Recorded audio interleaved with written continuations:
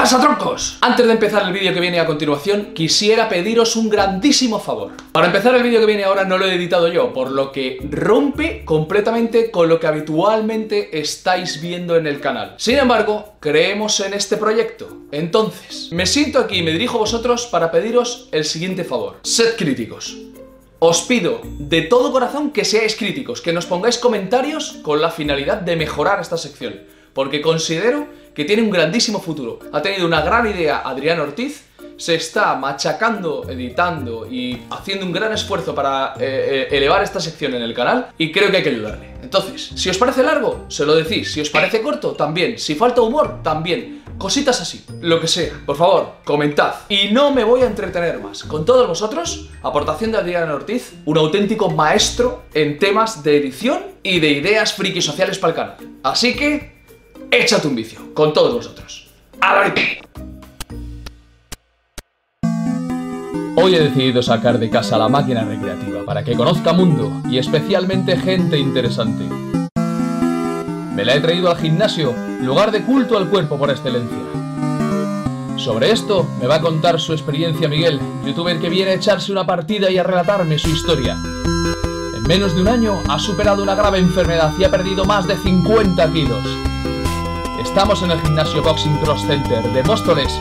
Yo soy Jandro Lyon y preparaos porque encendemos la máquina y arranca Échate un vicio. Vaya con el Tetris, un juego del orden de la vida. Pero soy muy malo.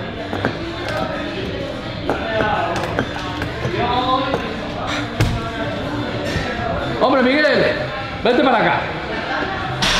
¡Échate un vicio! ¿Qué tal, Jandro? ¿Qué tal estás? Pues muy bien, ahora bien que estoy contigo, ¿cómo no? Claro que sí, porque eres un buen amigo del canal, ¿sí o no? Buen amigo, seguidor ahí, seguidor ahí. Porque eres youtuber como yo, tío. Bueno, me queda mucho, ¿eh? Me queda mucho para llegar a donde tú no estás. No te creas, no te creas. Tú también le pones mucho empeño, mucho ahínco y estás ahí todo el día grabando y dando ideas y esas Sí, bueno, mi temática es otra, ¿eh? Mi temática te voy a contar. No, mi temática es friki como la mía. Sí, pero empecé por otro tema. ¿Y, qué tema, qué tema fue? Cuéntanos. El tema de la obesidad, este tema de la vida que nos tiene tan... Un poco duro. Eh, sí, eh, es un tema muy, muy, muy, muy chungo. Muy chungo para la gente que lo sufre. Y yo, pues lo he sufrido. Individuos e individuas del globo terráqueo. ¿Qué pasa, individuos e individuas? Hola, hola, hola, hola, habitantes del del globo terráqueo. Eh, yo lo que cuento en mi blog, sobre todo lo que es el bypass gástrico. Yo, yo estoy hace ya un año operado de un bypass gástrico. Eso era lo que yo también te quería preguntar. ¿Por qué decidiste operarte? Porque no le vi salida. No le vi salida, era un círculo vicioso. Es decir, eh, tú te levantas un lunes y dices, voy a hacer dieta. Mentira, no haces dieta. Tú te levantas un martes y dices, voy a andar. Eso. Bueno, puedes salir a andar, pero como pesas 150 kilos. Te cuesta horrores. Horrores. eh, que dos días en la cama, sin poder. Las articulaciones eh, totalmente destrozadas. Los músculos que, que- agujetas hasta en las pestañas. Bueno, ¿y el apoyo familiar qué? El apoyo familiar, a ver, eh, el apoyo familiar no entiende mu- cuando tú dices que te vas a operar. eh, es, es difícil, ¿vale? Porque eh, ellos no entienden que tú puedas jugarte la vida en una, una camilla de operación porque estás gordo. Pero la gente que lo sufrimos, yo personalmente, te voy a decir la verdad, yo prefería morirme. Morirme en la, en la mesa de operaciones a seguir así Así que estás hablando que la autoestima por los suelos. Cuando tú vas al baño, ¿vale? Y lo más tétrico que te voy a contar es que no eres capaz de limpiarte el culo por ti solo, Joder. ¿vale? Ahí ya te ves que eres un inútil. Eres un inútil ahí, eres un inútil en el trabajo, ¿vale? Eh, ¿Por qué eres un inútil en el trabajo? Porque la gente obesa también tiene trabajo. bueno, sí, depende de qué trabajo. eh, eh, la gente es muy mala, ¿eh? La gente por adelante te pone malas caras, pero luego por... O sea, te pone buenas caras por delante, pero luego por detrás sabes que te critican porque estás gordo. La sociedad es así. Cuando vas a comprarte ropa, yo, eh, mi- mi- lo que es mi, mi fondo de armario era Carrefour XXL, Declathlon XXX XXL, Kiabi, Y la FHM ayudándote, ¿eh? eh, y, ya- y ya Las está. tallas de la FHM bien bajas. Pero es que no, o sea, es decir, no tengo, no tenía más sitios donde ir a comprar. Eh, entras en una tienda y dices, oye, ¿tienes algo para mí? O sea, tú ya preguntas, ¿no? Mm, ¿Tienes algo para mí? Ya te miran así de arriba abajo, se sonríen y Sí, dicen... Es que encima eso es la historia. La... Digo, ¿qué pasa? ¿Que para hombres no hacéis eso en ropa o qué? O sea, todo el mundo tiene derecho ¿no? a, a- a vestir como quiere. Pues, aunque esto suene frívolo, mentalmente te, te- te mina. Te mina mentalmente. Eh, luego, por otra parte, eh, lo que estábamos hablando de la familia, ¿no? O sea, decir, eh, sufre, sufre contigo porque te ven mal. Pero mm, yo tengo el apoyo, por ejemplo, de, de- de Belén, de, de mi mujer. Esa es otra. Esa es otra que luego posteriormente te quiero preguntar sobre ella. Sí, es, eh, Pero yo quiero llegar al, al punto también Dime. clave. Ahora mismo resulta que tú llegas ahora y te quieres eh, operar, ¿no? Porque decides ya al final pegar el paso y dices, mira, esto no tiene otra salida, no puedo entrenar, no puedo... Las dietas son horribles para mí y tal, me voy a operar y te operas. sí. ¿no? Y entonces ya vas a hacer... Equivocado, tus- ¿eh? ¿Por qué? Equivocado porque yo pensaba que era otra cosa. Yo pensaba que te operabas y se te solucionaban los problemas. No, no, no, no. O sea, Claro. la solución. la- la- a ver. Una la cosa es la operación- operación física, ¿no? Es que la te operación. veo venir, que luego Sí, la cosa psiquiátrica... Es que, claro, es que es. la operación eh, no es el remedio, es una herramienta, es una ayuda. Pero como no te cures de aquí, eh, vas mal. Vas mal porque los que somos gordos, de mentalidad también, em, te operan del estómago, pero la cabeza la tienes intacta. O sea, decir, de un día para otro estás operado, pero tu cabeza sigue siendo la misma. Tú sigues queriendo comer mucho. ¿Por qué? Porque tienes una enfermedad mm, del trastorno de la alimentación. Cuéntame la anécdota esa de los donos. De los sí, la tengo. A ver, eh, yo llegaba a comerme 16 donuts de una sentada. Perdóname, me trae risa. Sí, pero no, no, pero es que es de risa. Además que es que además me escondía. Con me- respeto, ¿eh? No, no, o sea, yo iba a comprar el pan, yo digo, voy a comprar el pan. Y veía los donuts y digo, yo aquí me voy a poner hasta el culo. ¿Por qué? Mm, porque la comida era, el, era lo único que me hacía sentir bien, momentáneamente Claro. te hace sentir bien. Pero Claro, luego te sientes como una puta mierda. Porque no se te quita el problema. Y luego además es que te has estampado 16 donuts. Y sabes que eso te va a repercutir en tu salud. Pero cuando eres adicto a, mm, a la comida hipercalórica, eh, a mí me ardía la sangre. Me ardía la sangre. eh, necesitaba... Yo he llegado a ver incluso en algún vídeo que te han metido un colacao con galletas untadas en nocilla y el colacao de un litro, ¿sí o no? Para cenar. Muy normal. Eso no, para cenar algo no, no, no. Para después de cenar. Para después no, para cenar. Hostia, que te la Esto parece gracioso, pero es un problema. Es un Ya, problema enorme.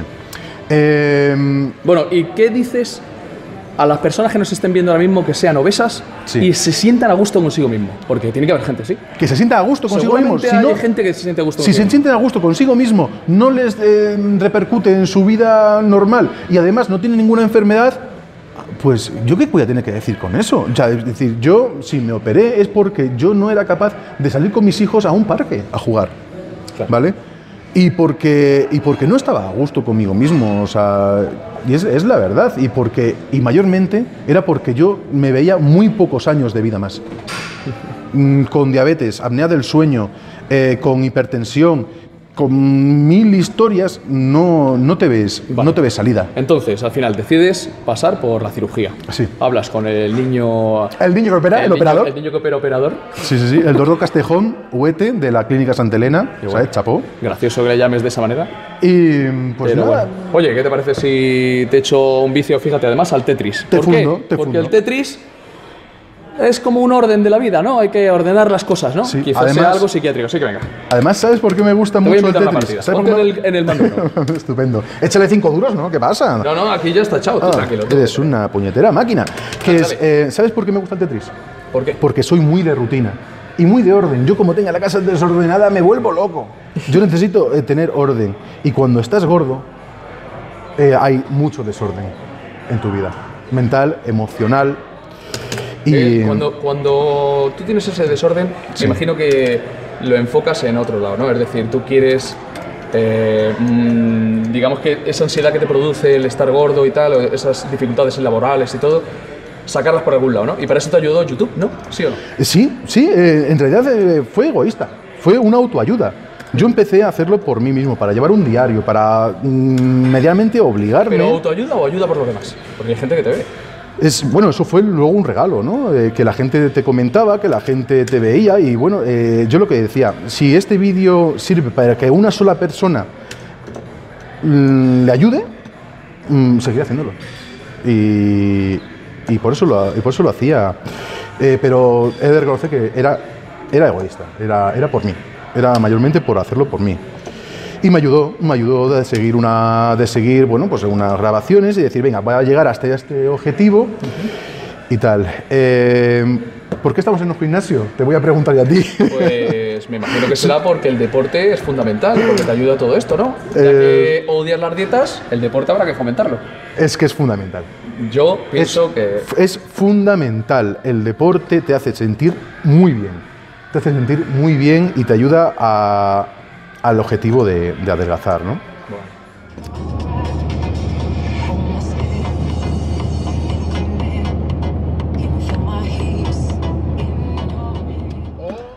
No hay que fustigarse mucho. Yo creo que darse un capricho de vez en cuando es bueno también, ¿vale?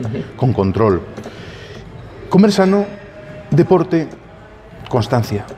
No hay más. No hay secreto. sí hay más. Y te voy a decir otra cosa más. La pareja. La Dime, pareja.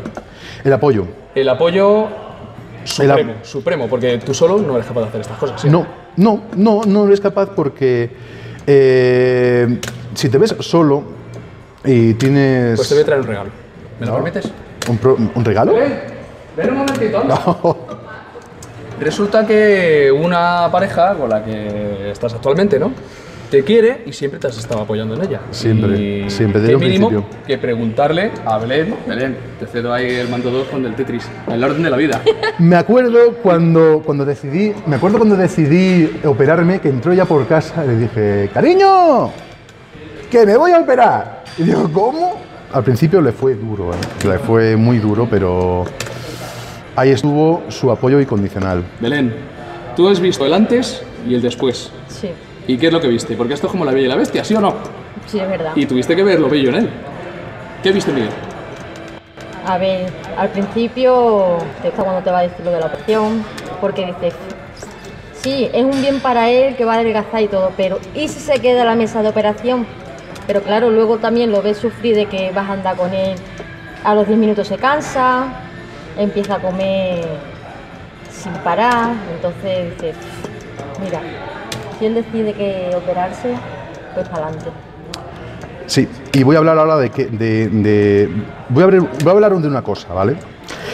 Eh, vale, Playa de Miguel. Esta máquina te hace hablar. A mí engordar, a mí engordar me hizo engordar una enfermedad que se llama bulimia, ¿vale? Yo soy bulímico, diagnosticado. Eh, la bulimia es un descontrol de la ingesta, un descontrol totalmente de la ingesta in- in- des- descontrolado, provocado por una ansiedad. Y la ansiedad es un detonante, ¿vale? La ansiedad eh, es un detonante para que comas. Hay algunas personas que la ansiedad les da por beber alcohol o los problemas les da por jugarse el dinero a las tragaperras. A mí me dio por comer. Me dio por comer y era donde yo eh, echaba todas mis angustias, todos mis, mis malos rollos, ¿no? Que te da la vida. ¿Qué pasa cuando tú solucionas tus problemas, ¿no? Aparece Belén y eres muy feliz. Pues que tus problemas han desaparecido, pero la, adicción te queda. Sigue siendo un adicto. Tú dime si un alcohólico que se echa el alcohol, eh, se echa el alcohol por un problema, soluciona ese problema, tú dime si no le sigue gustando beber alcohol. Imagino, imagino, pero bueno, yo qué sé. ¿Vale? Entonces, a una persona que es adicta a la comida, igual. Así que le estás tirando tú el carro todo el rato. Sí. Es lo que han querido decir. Tienes que estar constantemente Y aunque mi vida... despacito, haz las cosas despacio, que luego te llenas muy rápido, tienes que ir a, a vomitar. A vomitar. Sí, eh, Cuando comes demasiado, sí. Sí, eso es, uno de los, eso es uno de los efectos secundarios de la operación, ¿vale? Aparte del dumping, que es que te, baja el azúcar muchísimo, es que como tienes poca capacidad eh, del estómago, si comes demasiado, porque sigo diciendo, o sea, seguimos siendo enfermos de la cabeza, ¿no? Seguimos siendo adictos a la comida, pues lo que haces es que un, un efecto secundario es que vomitas. Y ella pues tiene que estar cuidado ahí de mí. Y bueno, hay cosas, hay muchas cosas, es una lucha constante, es una lucha diaria, ¿vale? Se puede, se puede, pero primero de aquí. Hay que solucionar esto. Si no solucionas en la cabeza, Bueno, pero te tengo que decir. Tus inicios, 150 kilos. Sí. Ahora, un poquito más de 100. sí. ¿Te has quitado casi 50 kilos en un año. Sí. Mentalmente te veo muy entero, con compañía y Sí. tal. ¿Qué solución le pones? ¿Qué solución le pongo? Porque yo creo que está hecha ya. Eh, mantenerte, porque ahora mismo eres feliz, tienes todo. Sí, pero cu- cuesta. Tengo todo, pero, pero es que en el momento que te descuides, vuelves otra vez a caer. ¿Vale? En el momento que tengas cualquier cosa en la vida que no tengas prevista, un gasto inesperado, un, ansiedad, claro, esa es la una, un, un palo, eh, que yo qué sé, un disgusto, una riña, cualquier cosa, eh, yo lo primero que pienso es en comer. Todavía lo pienso, es que es así. Entonces, hay que controlarlo diariamente. O sea, hay que ser constante en esta lucha. Y ya lo repito, la operación es una ayuda, es una herramienta, pero la solución la tienes que poner tú. Que tú te haces unos filetes y no puedes untar el pan. Pero si son los más ricos, ¿cómo no vas a untar el pan, coño? Pensarlo. Y no cometáis el mismo error que. Bueno, pues yo creo que vamos a echarnos un Street Fighter, ¿no? Muchísimas gracias, Belén, por echarnos aquí un cable y tal. Si, si quieres despedirlo un poquito. Bueno, nos despedimos un poquito y luego ya veremos los problemas que esto nos ocasiona. Anda, anda. Eh, porque que es que, calienta. escucha, que esto, esto ha sido un robo, que a ella no le gusta salir en ningún vídeo. Tengo dos vídeos en los que sale. Pero mira una que la tengo- buena. No, perdona, tengo tres vídeos en los que sale ella y la verdad es que me cuesta horrores, se lo tengo que pagar con creces. Luego después me Bueno. fustiga por la noche, me dice, eres muy malo, ¿sabes? Y... Miguel, lo he dicho.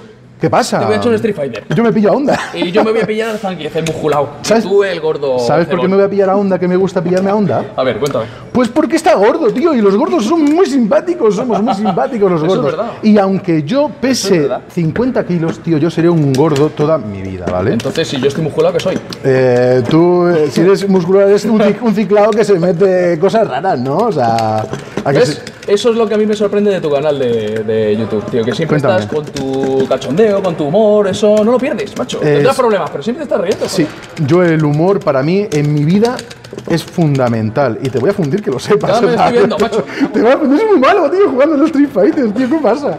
El Zangief es que ya sabes tú que tiene sus limitaciones. Ah, bueno, sí, eh, bueno, porque veas que los gordos también tenemos cosas Aprovecho buenas. para saludar a Adrián.